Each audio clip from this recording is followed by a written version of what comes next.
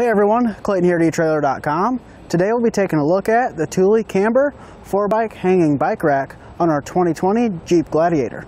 So you might be asking yourself, you know, why do I need a bike rack if I have a truck?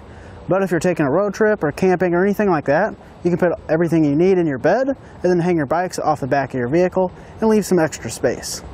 Our bike rack is going to work with an inch and a quarter and two inch hitch receivers, so it'll be pretty versatile if you have different hitch sizes for different vehicles and we will be able to take up to four bikes with us on the trails. Our bikes are going to mount here on the frame. There's three points of contact. We have this one here, this one here, and one down here around the back of our seat post. So it is pretty solid on our rack, but if you have a carbon fiber bike, you do want to keep that in mind. We do have a 37 and a half pound weight capacity, so you wouldn't want to take an e-bike or a fat tire bike, anything that's going to be really heavy, but it works out great for our road bikes and some lighter mountain bikes. To remove our bikes, we push this tab here, and pull our strap out. And you'll repeat that same process for our other hooks.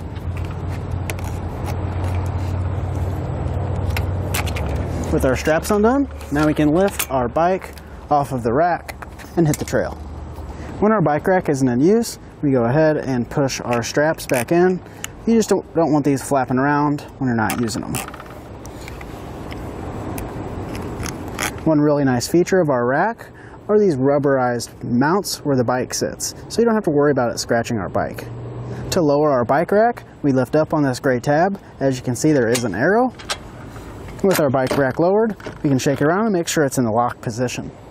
This is a hanging bike rack, so we do have a little bit more clearance when the rack is in the upright position, but I'll go ahead and get some measurements for you with it down. From the ground to the bottom of our rack is about 16 and a half inches, and from the ground to our rack here is about 16 inches. You just want to keep that in mind if you're going anywhere that has kind of bumps or trails, just so we aren't scraping our bike rack.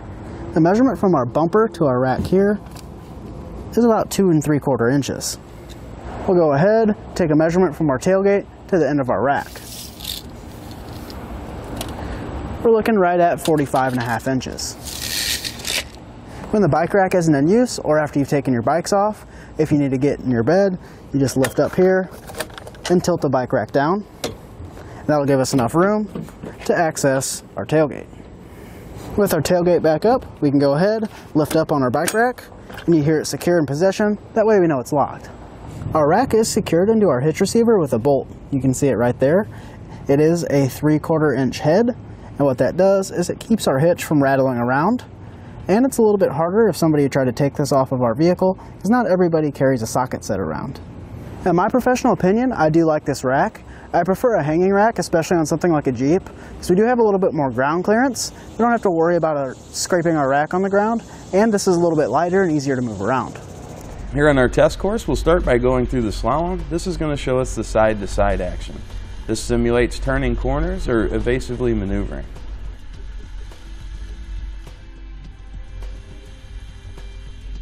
Once we get to the alternating speed bumps, we'll see the twisting action. This will simulate hitting a curb or pothole or driving over uneven pavement.